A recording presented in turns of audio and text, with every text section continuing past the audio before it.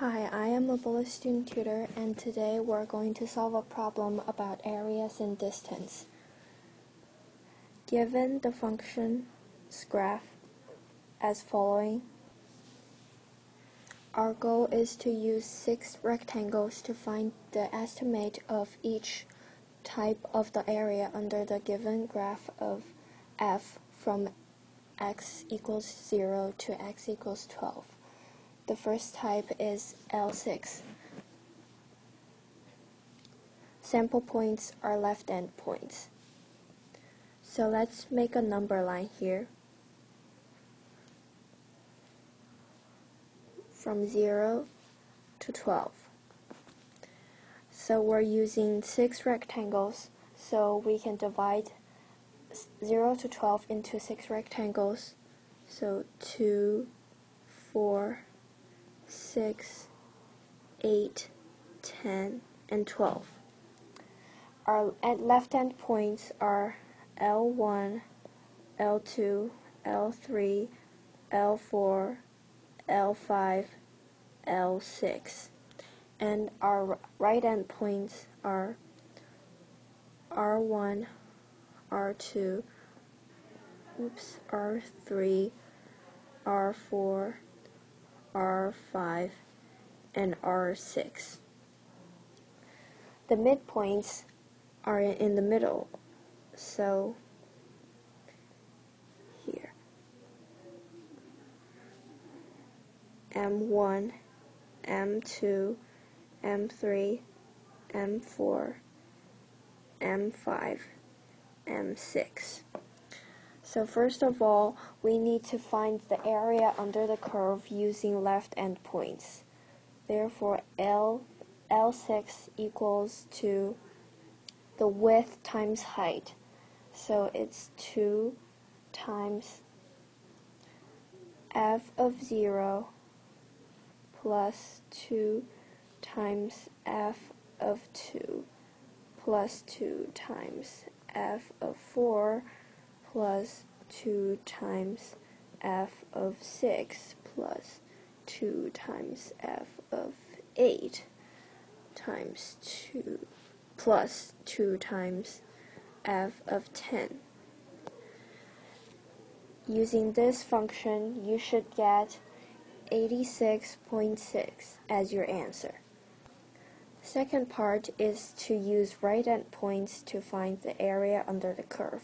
So we do the same thing except we use right endpoints. So width times height, this time we start from f of 2 plus 2 times f of 4 plus 2 times f of 6 plus 2 times f of 8 plus 2 times f of 10 plus 2 times f of 12. Using this equation, you should get the answer of 70.6. Now we need to use the midpoints to find the area under the curve. So as we can see from the number line that M1 is just 1, M2 is 3, M3 is 5, M4 is 7, M5 is 11, and oh, whoops, M5 is 9, M6 is 11. So using these midpoints, we can find the area under the curve using width times height. So we do f, oh, 2 times f of 1 plus 2 times f of 3 plus 2 times f of 5 plus 2 times f of 7 plus 2 times f of 9 plus 2 times f of 11. Using this equation, you should get the answer of 79.4. So the second question is is L6 an underestimate or overestimate of the true area? So we can look at the um, functions graph and see using left endpoints we get the area under the curve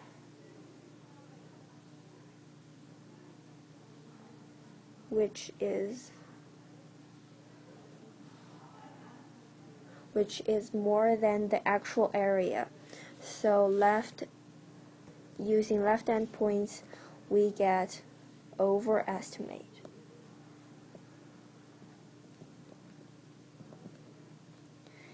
And using right endpoints we get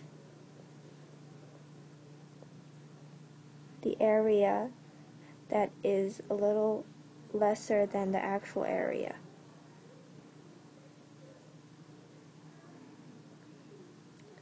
So using right endpoints, we get underestimate.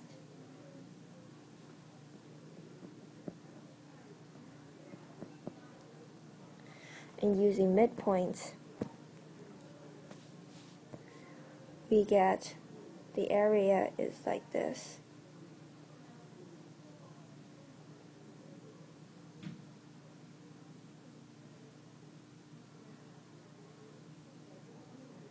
Which is in between L1 and R, L6 and R6, which is more accurate. So L, um, using M6, we find the most accurate answer, the best estimate.